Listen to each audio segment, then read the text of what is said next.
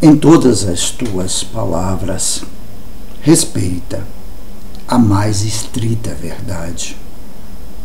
Como falando na presença de Cristo, que é a própria verdade.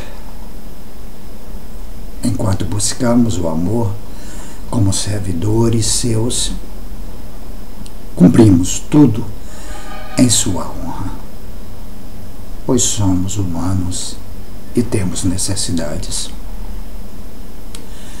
Se Deus, rico em misericórdia, não tem pressa para remediar as misérias, a alma que está nele não sente nenhum desejo.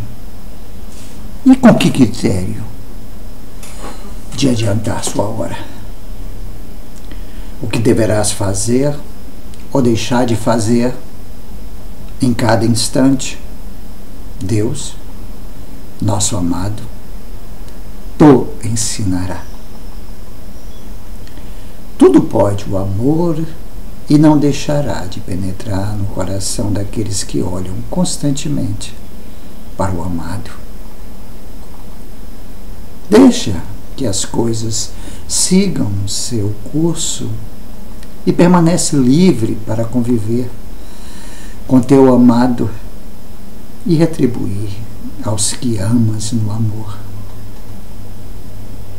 Existe santa de indiferença e os que aprovam sabem que não é comodidade nem dureza de coração. Somente deves amar a Deus e não te sujeitar a nada que não seja o único amor que nos escolheu para si. É lei e costume do amor que alguém deve ser obediente com o poder do amor, por muitas que sejam suas provas. Nunca perde a alegria de seu coração. O amor genuíno não se submete à definição. Alma mais intacta é que com Deus mais se parece. Estou disposta a perder minhas ilusões. Não se pode amar sem sofrer muito. O amor tem capacidade para subsistir em qualquer coisa.